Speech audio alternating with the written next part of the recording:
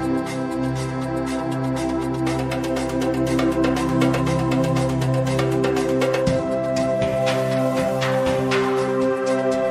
kabar sobat kuliner Indonesia nya? Wah, di sini lagi hujan deras ya nih. Nah, kita foto dulu nih. Hmm, di sini saya posisinya ya di Jalan Kapuas nih. Di sana banyak jualan gerobakan, ada mie ayam, ada sambal hijau di sananya. Di sini juga ada jualan minuman nih di belakang nih. Di depan juga ada gedung tinggi juga ya nih. Gedung perkantoran. Nah, kita akan mulai di sini ada salah satu yang jualan sate ayam depan kantor nih. Persisnya di sini nih di pojok. Nah, bukan di pojok ya di depan persisnya di Jalan Kapuas Cideng. Nah, kita akan ke sana ya akan mengulas dengan penjualnya ya.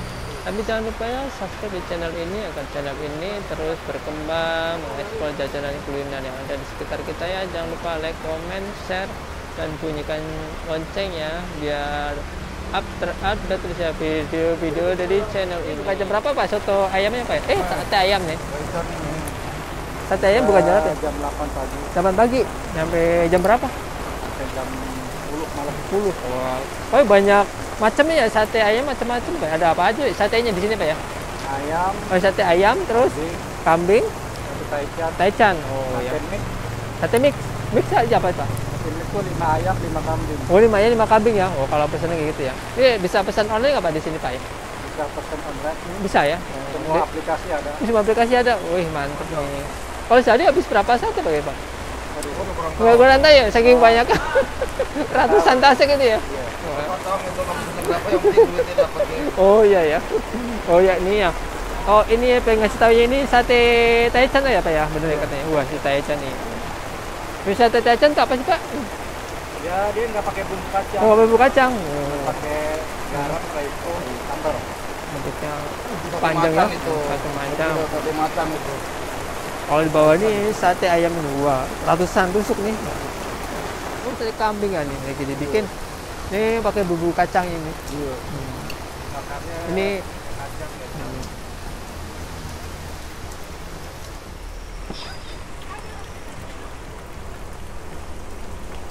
Ini sekali bakar banyak ya. Sampai ada coba 30-an lebih nih. 50 kayak kira-kira kalau bisa dihitung satu persatu.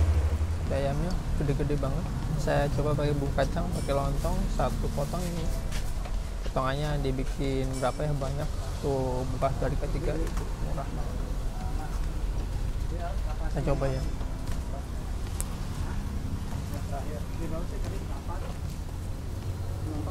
ayamnya benar-benar matang bumbu kacangnya enak ya terus satenya agak panjang daging ayamnya melimpah nih dari ujung sampai ujung. Hmm, gurih dagingnya ya. Terus juga apa bumbu kacangnya. Wah, mantep